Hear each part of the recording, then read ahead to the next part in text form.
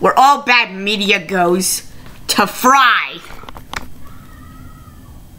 Just a tick. Hold on. Sorry, I haven't combed it a while. So this is my first Halloween episode. Sorry it get so late. But hey, what you gotta do? What you gotta do? What you gotta do when they come for you?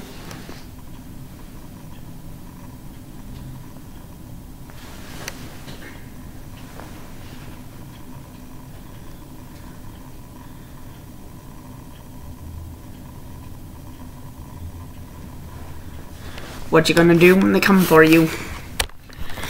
So, I will be doing some of late great comic books, movies, whatever you people want me to do on Halloween.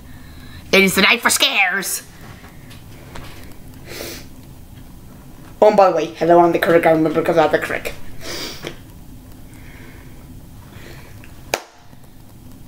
I will give you guys three choices. The Shining, Casper, or Beetlejuice. They actually came out with a comic adaptation of that movie, and actually found a comic book of the same name, not based on the same thing. But it goes along the same lines. So if you want me to do that, tell me in the comments below. Bye.